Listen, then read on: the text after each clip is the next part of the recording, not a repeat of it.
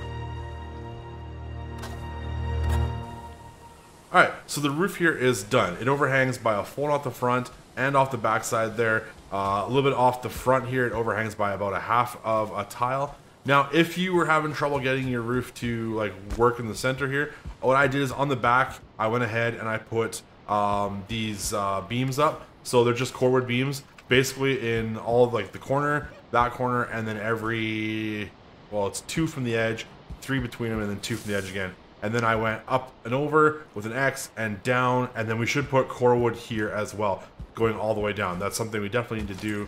Do I? I don't have any on me. We'll definitely do that though, just to help support all this. Now, what we're to do now is we're actually going to start working on the next part of this roof, which is another peak. So basically, what we're going to have to do, uh, we're going to break these for now.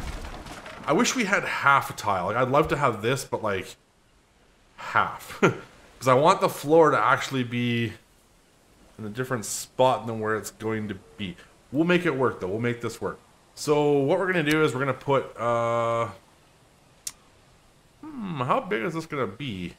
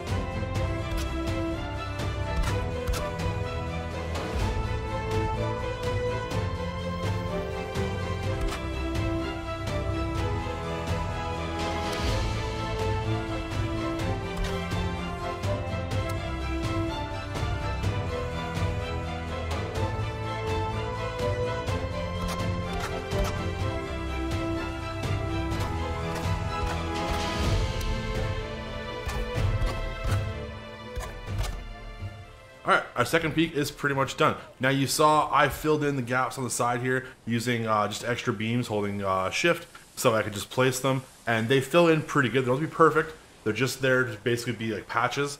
And then I put underneath here, I just framed this all nice, put these little supports in, and it looks pretty good. And we have a large window, and it is perfect. Now, what we might have to do, obviously, is come in here and fill these parts of the roof in. Um, but we can also add another peak if we want it out the back, and that would fill this in. I hate this sliding down these hills, or the roof. Come on, stop right there. Now we might have to like fill this in. Uh, we could also, depending on what you want to do with the roof, you could also just put these back in and have it just as a look. It doesn't have to be a functional room or anything. All you'd have to do is put this back, you know, snap it back in there, click it right here, and you'd have this full, uh, full again. It wouldn't really matter. Um, or we could add this out the backside.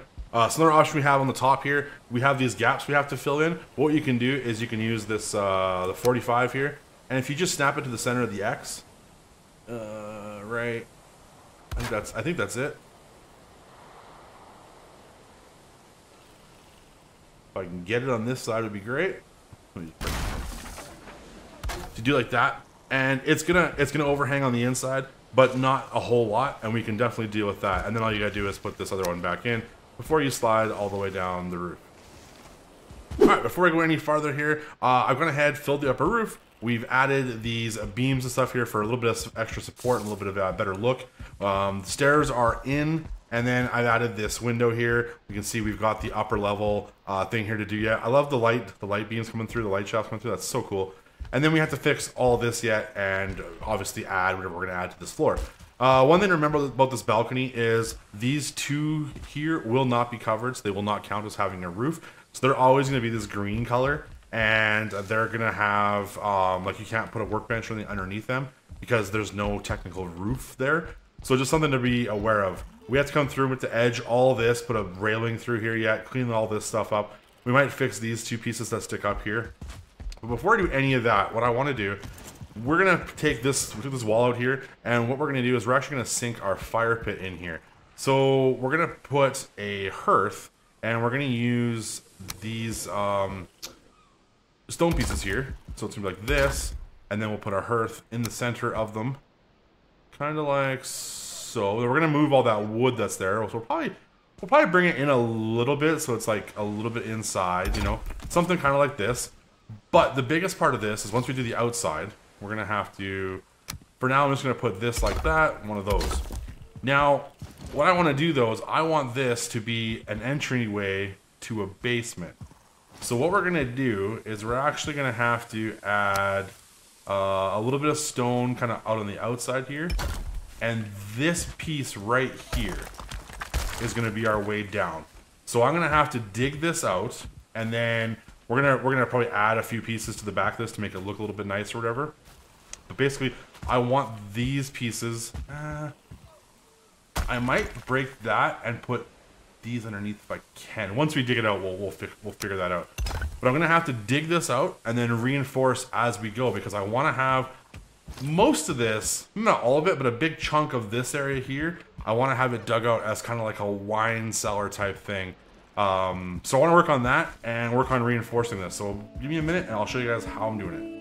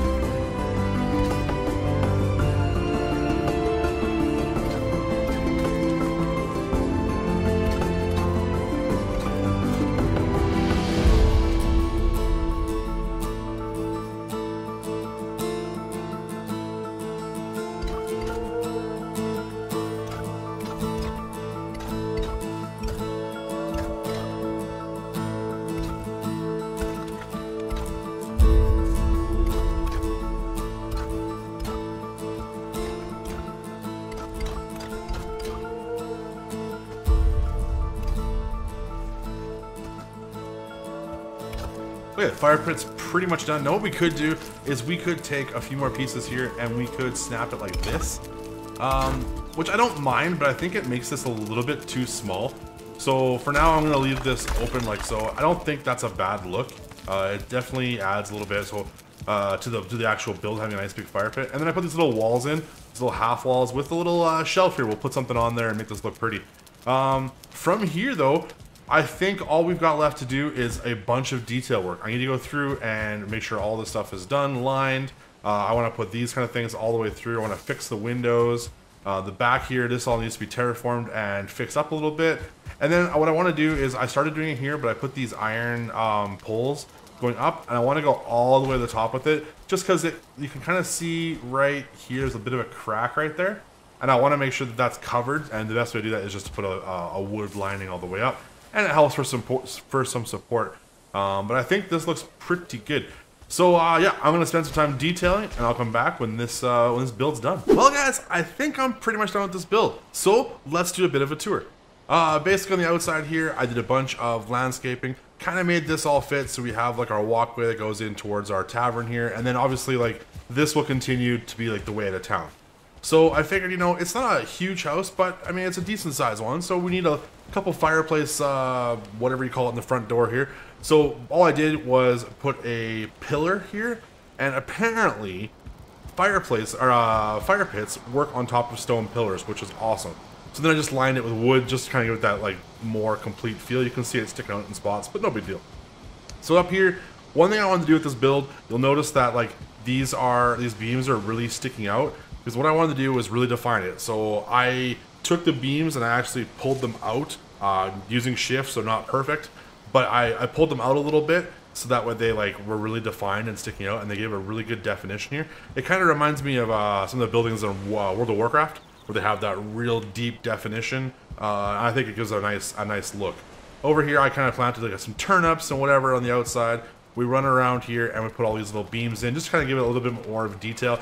It's a bit much on the sides. We probably could take about half of these out, but I, am not too worried. For now, I think it looks all right. So let's uh, check out the inside. So in here we have, I think it's a comfort level of like 12. I went a little crazy. So let's start here. We got a little bit of a kitchen. We've got a couple of fermenters here. Now I was able to, let me just turn this back on. I was able to sink the workbench in here and it still works, which is awesome. So we've got uh, our workbench here. Beside it, we just put like um, those half half floors. So I kind of get like a, it's almost like a sink, but not really a sink. Uh, and then we've got like a, the tool, the forge tool rack. The forge is kind of tucked in the corner, and then just like a bunch of like storage. So it's like your pantry type area. And then uh, our our um, what do you call it? Our fire pit here looks really good. It's all sunk in nicely. Kind of like gives a lot of like light to the room and a lot of definition to the room. We got our nice table, a couple of wards up top. I really, the stone cutter, if you don't know what it is, it almost looks like an ironing rack, which is kind of funny. So I put these in a few spots just because of the fact it looks like someone's working on like clothing or something here. Um, and then I put I put uh, some of the large chairs here. I, I kind of wanted to put a smaller table. I was gonna make one, but I thought I don't know. I don't know how to do like what I want to do here. But I was kind of thinking like these guys are like you know in the corner like like playing chess or something, you know.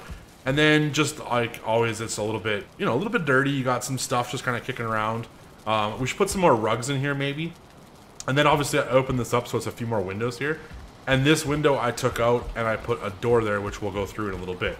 Now up here, I kind of just defined it a bit with some railing and whatever. This window, like I said we made before, it's just like, I wanted lots of windows here, like lots of open space. Uh, another table, another like for doing laundry, I guess, up here. Uh, the stone cutter.